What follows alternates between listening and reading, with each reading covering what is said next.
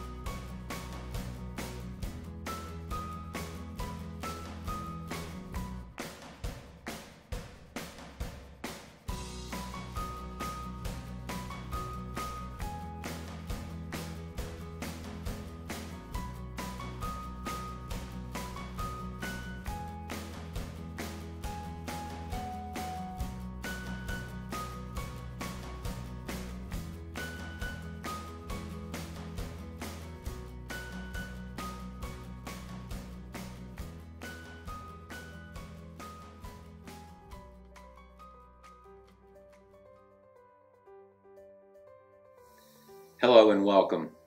This is the first video documenting our journey as we take a piece of raw land and attempt, keyword is attempt, to turn it into a self-sustaining, life-sustaining farm. No, it's, it's, it's not a um, easy journey to take on. Uh, this property that we have out here we purchased about five years ago and uh, when we first bought the property it's it was as about as raw as you can get. And when I say raw, I mean raw.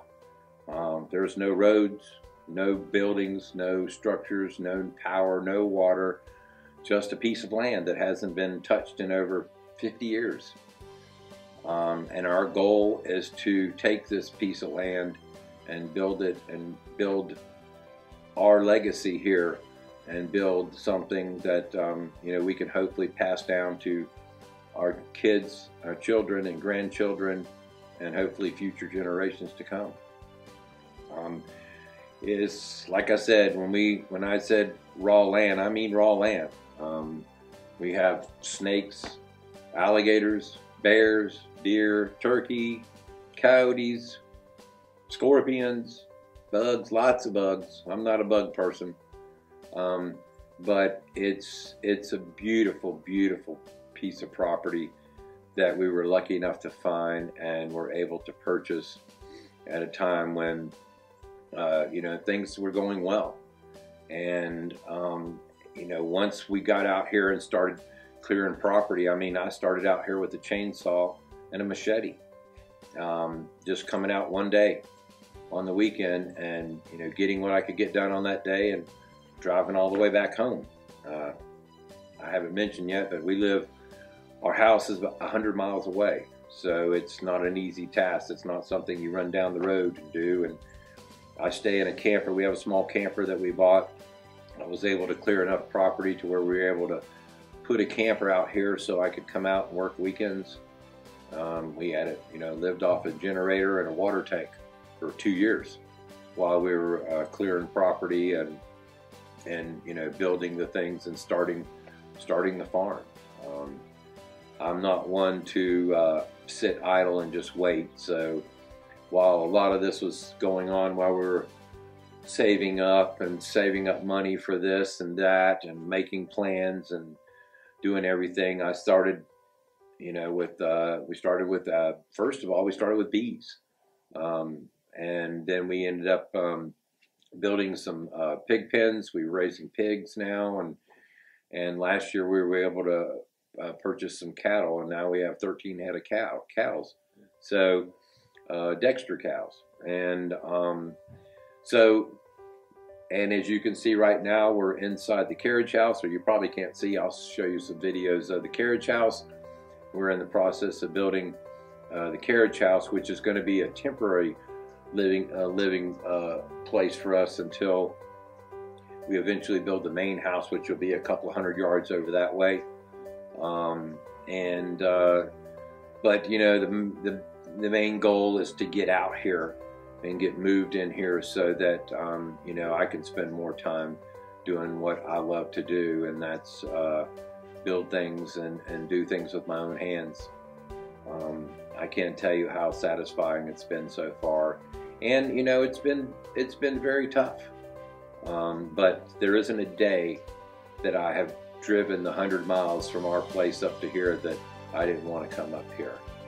Um, we uh, in our plans, uh, I, I, say tell people we want to build a life-sustaining and uh, self-sustaining and life-sustaining farm, and what I mean by that is we don't want to just have a farm where we just dump a bunch of money into and I'm trying to you know build a system or, or, or develop a system where the farm eventually will take care of itself. Um, all the animals, any animals that we sell or products that we sell from the farm will all be put back into the farm so that it can maintain itself without uh, you know coming out of pocket. And we all know that's a tough thing to do, but uh, you know I believe that we can do that. Um, I've learned so much by watching YouTube and uh, and and gained so much um, knowledge and you know to be honest, courage. Um, seeing other people do live their dreams, and you know I I told my wife I said hey let's let's let's live our own. Let's let's build our own dream. Um, we became tired of the rudeness and the and the craziness of the city life. Um, out here, you know, it's it's so peaceful and quiet, but it's just a more laid back uh, culture. It's just it, it's just a different lifestyle. And I know a lot of you probably have, you know, some people out there probably have the same type of lifestyle or understand what, what I'm saying, but you know, it's it's 30 miles to town to go to Lowe's to get anything, but it takes 30 minutes. Whereas in the city, it may be five miles away and it still takes the same 30 minutes.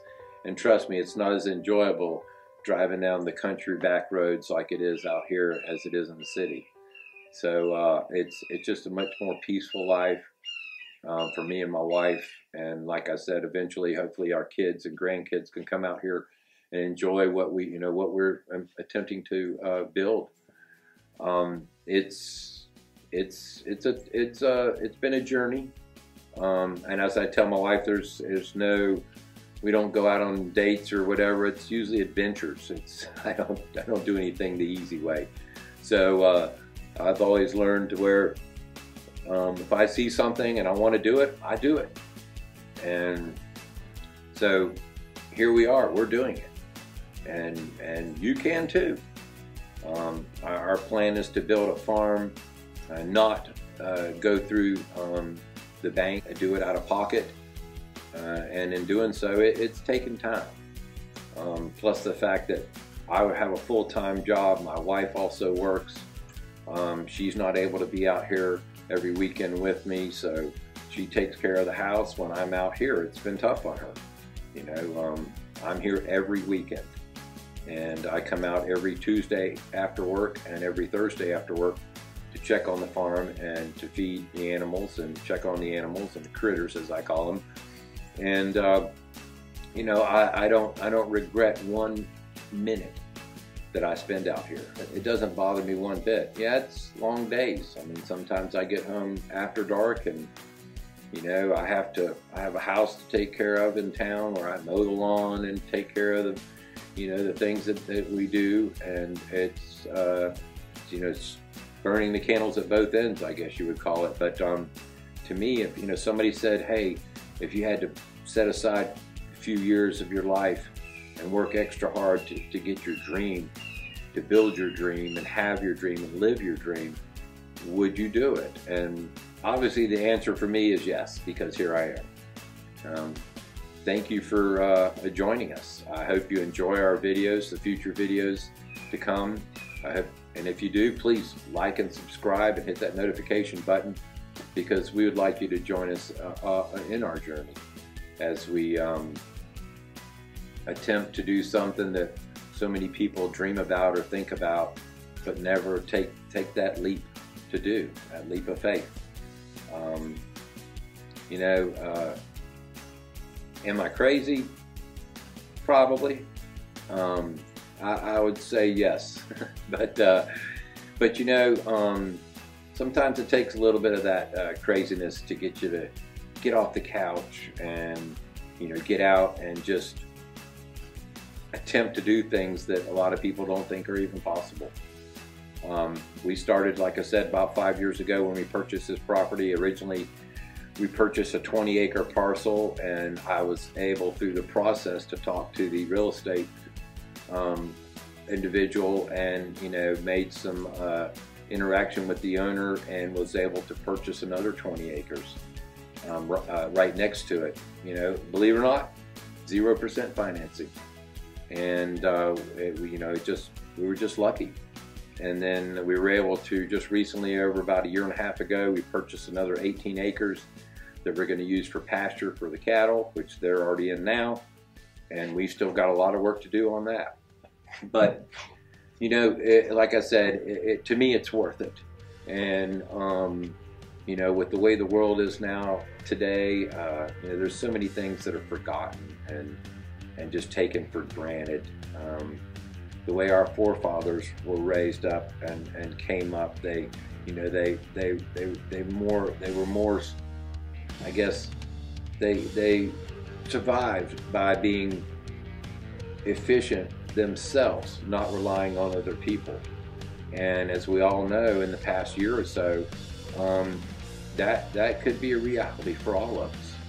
Uh, this country has has taken a turn um, in a direction that you know I don't really agree agree with, and I'm proud of this country. And you know we have uh, a a system in place that has been around and done so well for so long, and so many people are trying to change it. And you know um, some things are just better left the way they are.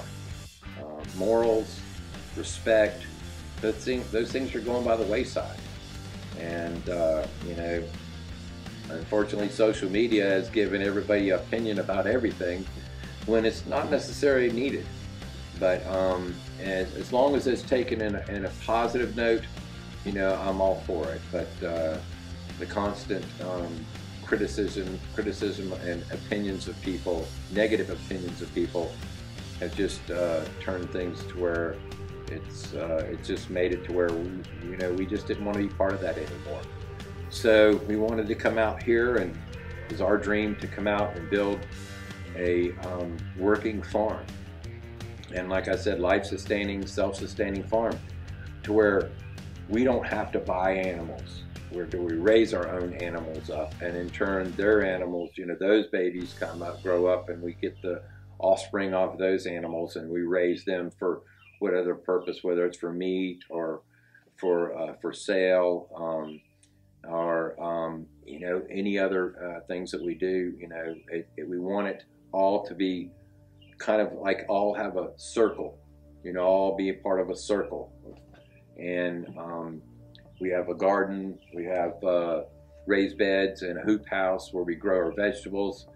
And like I said, it, it's something when I say self-sustaining and life-sustaining we want to eventually be to where we can most of the food that we eat and and and the things that we get and put in our bodies come from our own farm and to me there's there's no better satisfaction than, than putting your own hands on something building something with your own hands and reaping the rewards from that which is uh, what this is all about um, you know the, our, our channel here is like I said it's our first video you have to bear with me. Um, don't know how to edit videos. It's taken me months to get the courage to uh, shoot these videos and and and take the uh, that big step. Um, actually, it's been tougher starting this YouTube channel than it has been taking on this. You know, I have the, the hard work ethic and the knowledge to learn and the willingness to learn. Um, that I, I don't foresee anything um, out of reach uh, of any of the goals that we're trying to attain. Uh, my wife has put up with me. Um, I'm constantly gone um, on every weekend. I'm up here on the farm. Every Tuesday, I come up to feed. Every Thursday I come up to feed. And then I turn back around on Friday after work. I get off work and pack my stuff up, pack my dog up. And, and if the wife is not working, she comes up here and we spend our weekends out here in the, in the backwoods, as they call it, um, building our, our, our dream. And we want to do this without going to the banks, without getting in debt. And, you know, um, so far, it, you know, we've done it. Right now, like I said, we have almost 60 acres. Um, we have uh, some old used equipment. My little red tractor, the little tra red, tractor that could is still going. It's not going to be going much longer.